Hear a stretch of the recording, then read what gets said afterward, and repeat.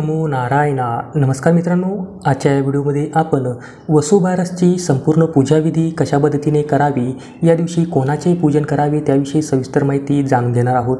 मित्रांनो अश्विन वद्य द्वादशीला वसुबारस साजरी केली जाते. या वसुबारस वारसलाच गोवत्स द्वादशी देखील म्हटले जाते. या दिवशी गायी व वासराचे विधिवत पूजन केले जाते. तसेच या दिवशी एकादशीचा योग देखील जुळून आलेला आहे. तर ही वसुबारस एकवीस ऑक्टोबर शुक्रवार रोजी आलेली आहे. वसुबारस व एकादशीच्या महासंयोगावर आपण हे पूजन संपन्न करायचं तर मग या दिवशी कोणकोणत्या देवीदेवतांचं पूजन करायचं? कसं पूजन करायचं ते आज आपण प्रत्यक्ष पाहणार आहोत. चला मग पूजेला सर्वप्रथम आपण प्रथम पूजेची मांडणी करून घ्या. तर पूजे मांडणी करत असताना आपण एक स्वच्छ व पवित्र ठिकाण निवडायचं आहे. त्या ठिकाणी खाली स्वस्तिक काढायचं आहे रांगोळी काढायची आहे आणि त्यावर मग पाठ ठेवून लाल किंवा पिवळ्या रंगाचे वस्त्र आपण आतरून घ्यायचे आहे आणि मग त्यावर पूजेची आपण मांडणी करायची आहे. तर सर्वप्रथम आपण श्री गणेश यांची मांडणी करून घेऊया. तर श्रीगणेश मूर्ती स्थापन करत असताना आपण ती खाली करायची नाही तर एक पान ठेवून किंवा नुसते तांदूळ ठेवून त्यावर श्रीगणेशची मूर्ती आपण स्थापित करायची आहे. तसेच या दिवशी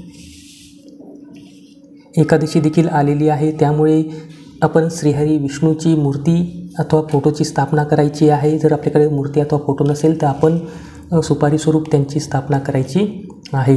तसेच या दिवशी गोमातेचे पूजन केले जाते गाई व वासराचे पूजन केले जाते.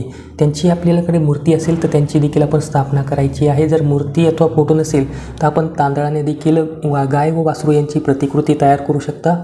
अथवा आपण बाजारामध्ये गाय व वासराची मूर्ती मिळते ते देखील ठेवलं तरी देखील त्याचं देखील आपण पूजन केलं तरी देखील चालणार आहे.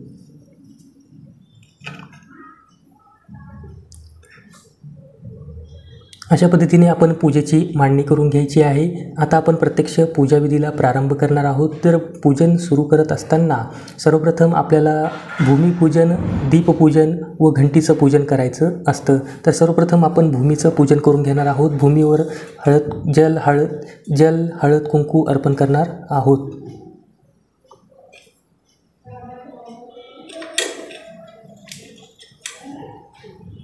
त्यानंतर आपण दीपपूजन करणार आहोत.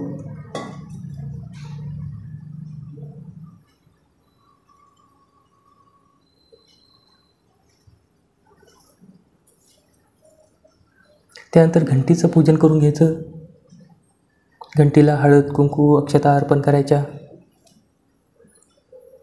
आणि त्यानंतर आपण आता पूजेला प्रारंभ करणार आहोत. तर सर्वप्रथम आपण पूज आद्यदेवता श्री गणेशाचं पूजन करायचं आहे. श्री गणेशाला स्नान घालून घ्यायचं आपण. आपल्याकडे गंगाजल असेल पंचामृत असेल त्याने आपण श्री गणेश यांना स्नान घालायचं आहे. ओम गंग नम नमः ओम गंग नम नमः.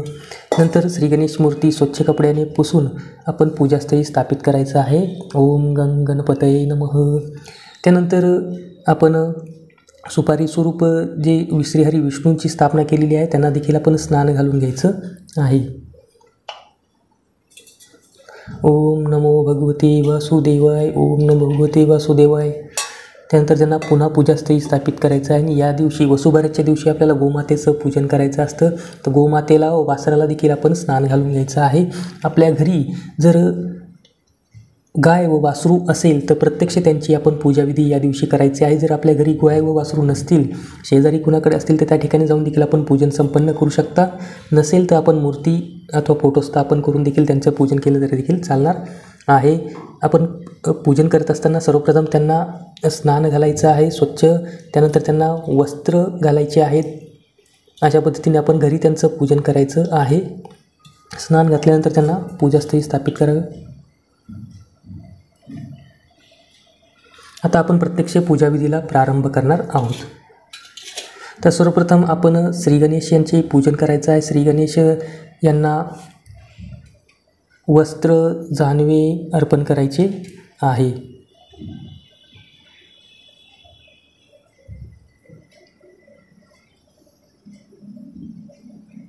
त्यांना गंध अक्षता अर्पण करायचे आहेत.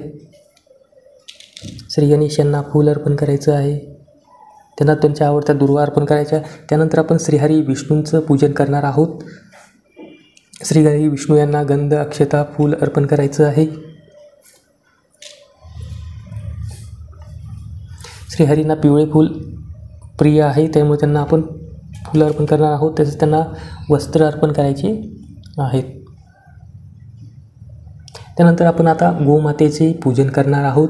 तर घरी देखील आपण याच पद्धतीने पूजन करत असताना आपल्या घरी गाय असेल तर त्यांच्या आंघोळ घालायची त्यांना वस्त्र टाकायचे आहेत त्यांच्या अंगावर तसेच त्यांच्या पायावर पाणी ओतून त्यांना पूजन करायचं आहे. त्यांना गोडधोड नैवेद्य दाखवायचा आहे. तर गाईला गंध हळद कुंकू अक्षता अर्पण करायचे आहेत लावायचं आहे.